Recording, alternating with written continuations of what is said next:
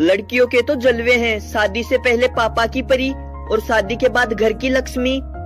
लड़कों को क्या? शादी से पहले पापा से पिटो और शादी के बाद बीवी से पिटो।